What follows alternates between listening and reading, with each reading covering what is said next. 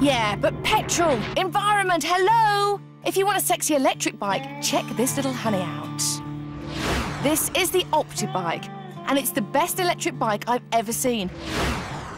It only costs about 7p to fully charge and can go about 50 miles on that. Apart from anything else, it's great fun. And it can hit speeds of over 30 miles an hour.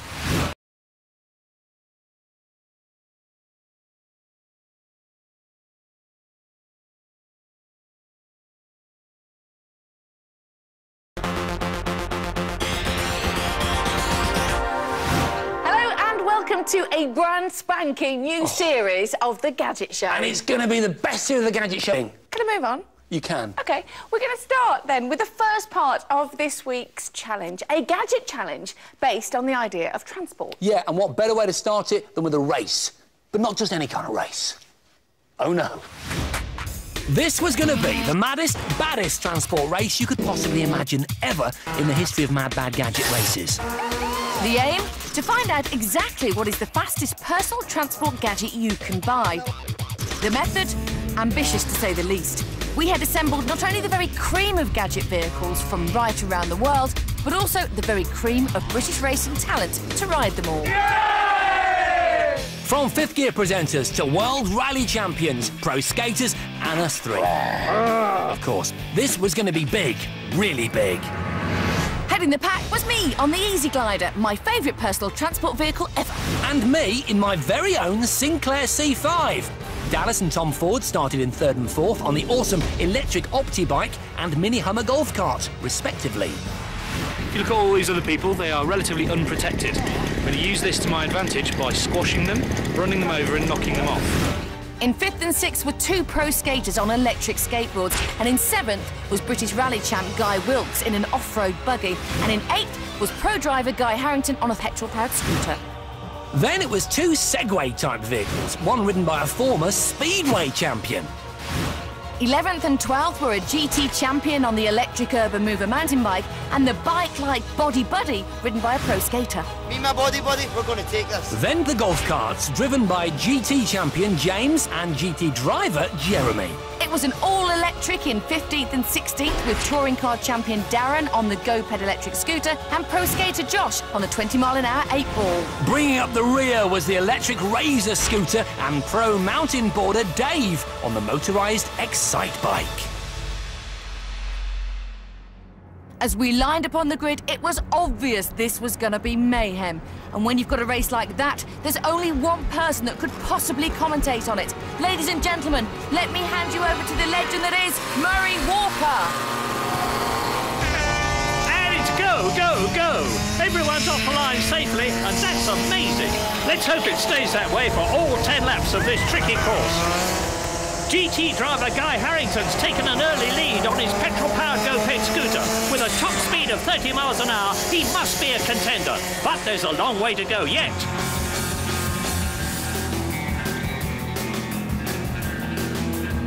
The pack's beginning to space out as the most powerful vehicles fight their way to the front.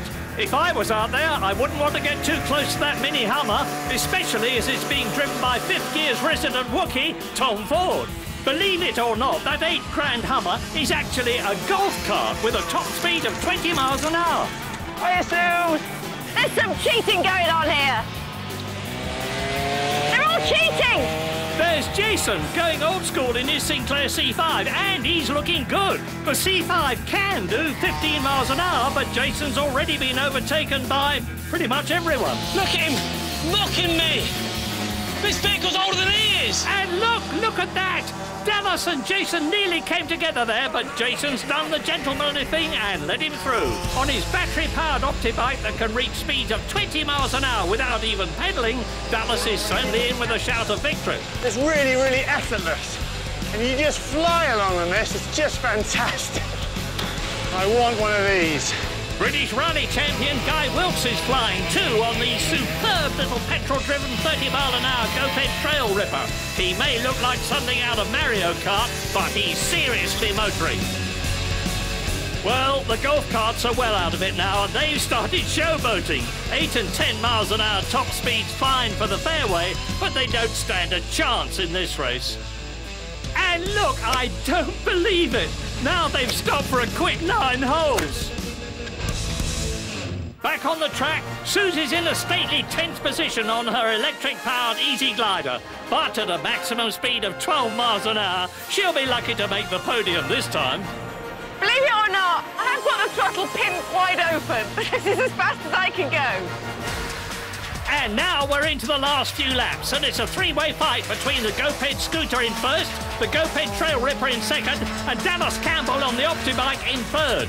But look, de debris on the track, debris on the track, that's dangerous. It's been left by those showboating golf carts, and gallant Guy Wilks has stopped to move it. I don't know. Golfing, eh? And now he's lost his second place to Dallas on the Optibike. Incredible!